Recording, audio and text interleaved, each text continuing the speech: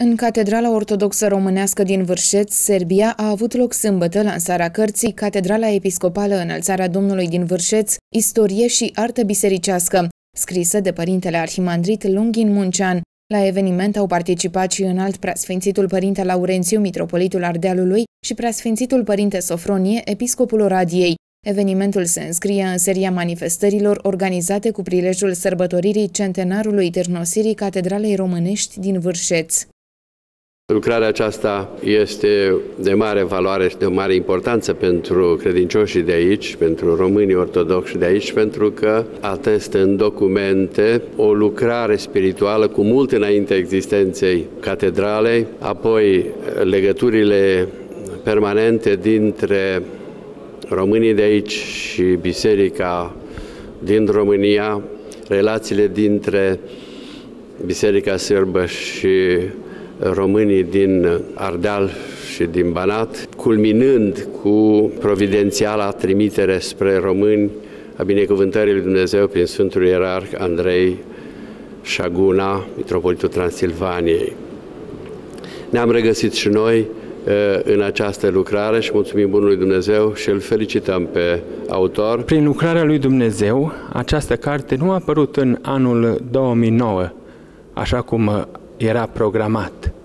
S-a tipărit acum, la împlinirea a 100 de ani de la Sfințirea Bisericii și iată, ea face parte din sărbările românilor din Vârșeț. De aceea cred că, deși este o contribuție modestă uh, la cunoașterea istoriei bisericești a românilor din Vârșeț, cartea pe care am editat-o va bucura sufletele românilor care s-au botezat și au crescut în această biserică, acum Catedrală Episcopală din Vârșeț, Serbia.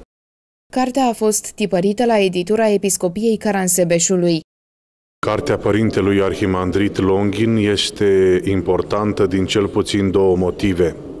În primul rând pentru că este prima monografie a Catedralei Episcopale Înălțarea Domnului din Vârșeț, monografie ce cuprinde nu doar narațiune istorică, ci și descrierea elementelor de artă ce compun biserica. În al doilea rând, cartea este foarte importantă pentru faptul că la finele ei se găsește un corpus de 26 de documente care ilustrează la modul concret istoria comunității credincioșilor din uh, aceste locuri între anii 1893-1913.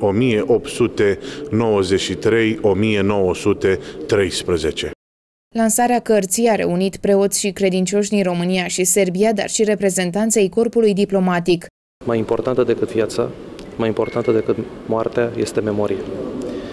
Cred că este un citat foarte interesant și nu știu de ce gândul mă duce și la tuturor arghezii, la volumul cuvinte potrivite. Dacă îmi permiteți, în loc de o felicitare cuvenită, să spun carte frumoasă, cinste cu te-a scris. Sunt foarte mulțumit în ziua de astăzi că ne-a ajuns o carte din timpul când a început istoria noastră, când s-a apucat să se zidească biserica noastră și acum la 100 de ani să știe tot cum s-a făcut și ce s-a făcut în timpul acela și acum noi o să urmărim să mergem mai departe.